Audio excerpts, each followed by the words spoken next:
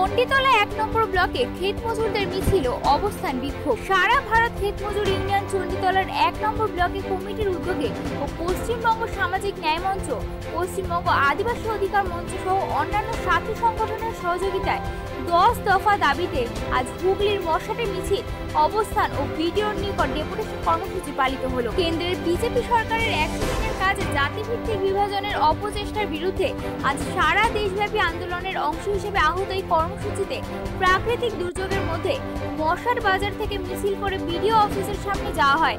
তারপর বিপরীত দিকে শেডের নিচে অবস্থান বিক্ষোভ শুরু হয়। আশিস চ্যাটার্জির নেতৃত্বে বিশ্বজিৎ মাঝি, সুখদেব দাস, রামেশ্বর মান্ডি, প্রণব দাস সহ আরও নজনের প্রতিনিধি দল বিডিওর নিকট ডেপুটেশনে স্মারকলিপি জমা দেন ও আলোচনা করে অবস্থান বিক্ষোভে বক্তব্য রাখেন ক্ষেত মজুর ইউনিয়নের জেলা সহ সম্পাদক স্বপন বটব্যাল কৃষক সভার ব্লক সভাপতি অশোক নিয়োগী ও ক্ষেত মজুর ইউনিয়নের ব্লক সম্পাদক আশিস চ্যাটার্জি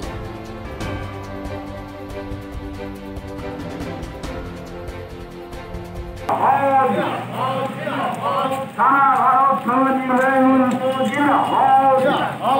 ভারত সারা ভারত কৃষক সমাজ জিন্দাবাদ